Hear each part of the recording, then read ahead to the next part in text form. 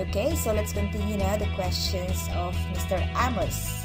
So number two, his question is, I have tried importing drawings saved in 2018 version of AutoCAD and I can't seem to import it.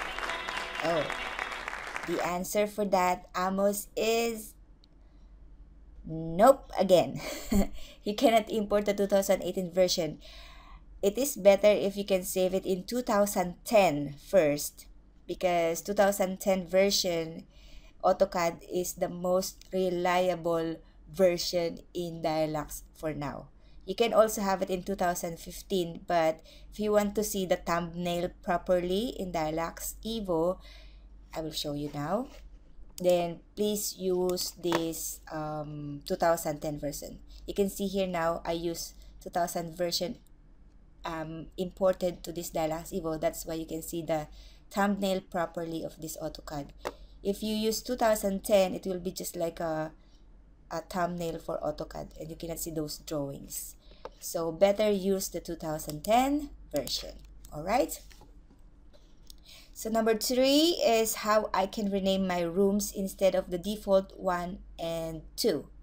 Alright, it's easy. All you have to do is go to your, for example, I go here and um, I will open my name labels here, showroom designation, and uh, you can see room number 20 here for example. It's add there are three ways on how to label or rename your room. One is just by clicking this one.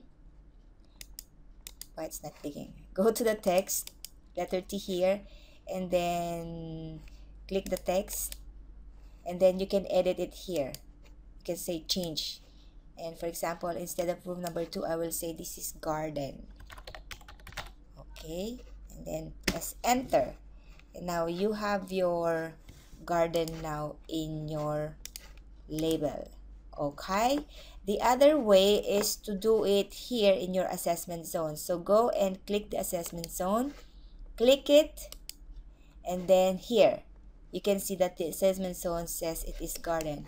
And if you want to check others for example this one so instead of room number six i will label this one as hallway.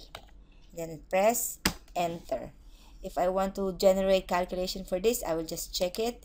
And if I don't want then I will uncheck it.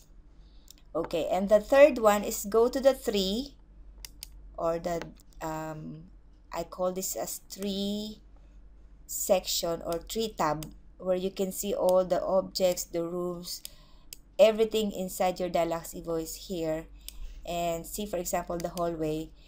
Click this one double click and then you can label it with for example hallway one two three and then enter. You can see it now that it's changed into hallway number three.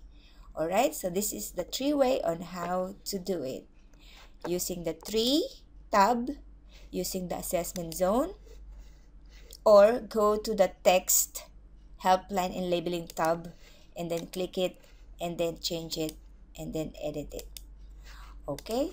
So the next question will be um, how to use the material and cutout tool.